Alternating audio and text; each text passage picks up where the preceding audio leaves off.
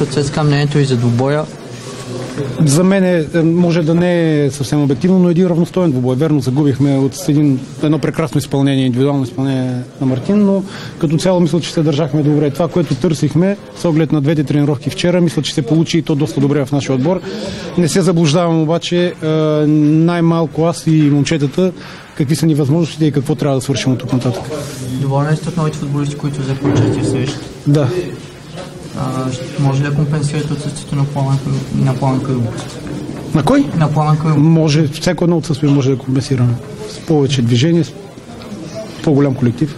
Венци се появи по-късно в в днешния матч какво е впечатлението ви ще остане на прои в отбора? Не, моля ви, не ме питайте сега точно няколко минути след мача за... Ще решим. Венцислав Христов се появи в игра в 60-та минута. Какво е неговото състояние? Ми не е много добро. Физически е малко по-назад. Подготовката, но това е нормално, тъй като той страдаше от е, едно възпаление на Ахилес.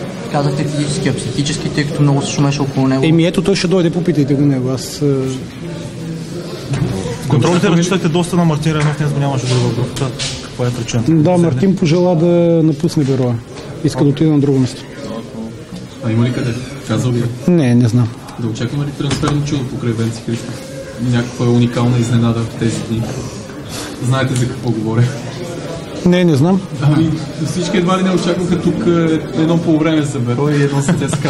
В кръга на шегата. моля ви се. Говорите Това ли е сериозни неща. лице на Бероя според вас е, седмица преди първенството?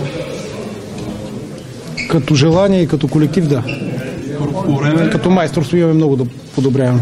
Първото по време, между другото, наистина е много силен матч. Се получи Не, не, оставете ги тия хвалби, няма да ме подведете. Може ли да смятаме селекцията за приключена отбора? Не, не. Благодарим. Добре, благодарим. Организирате ли контрола до до матча с другата седмица Имат съвсем малка обаче тази вероятност. Ще видим първо е, дали ще направим така, че момчета, които малко по-малко са играли или бяха дълго време контузени, но съвсем малка е тази вероятност. Елио Марти се доста назад. Той е доста назад. Той е, може би, най-назад с подготовката от всички, но пък от друга страна предпочетохме да остане малко по-дълго време в Португалия и да се изликува един път за винаги, тъй като тая контузия на Елио е хронична. Тя не е от една или от две години и така или иначе той трябваше да обърне по-голямо внимание.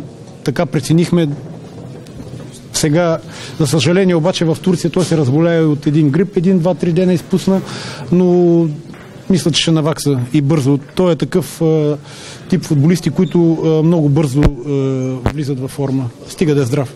След седмица се подновява сезон с Павловикова. Има ли шанс да бъде за първата седмица? Какво е според вас? Тъй като хипотетично има. Не значи има. Щом има хипотетично, значи има. Ден след седмия конгрес на БПС, какви, какво е мнението ви, вашето личното? А, съвсем честно ви казвам, не съм се занимавал. Не мога да кажа нищо. Не съм се занимавал. Какво да е мнението ми, при положение, че няма а, друг кандидат, съвсем нормално беше да се избере Боби Михайлов. Не съм влизал в подробности. Благодаря.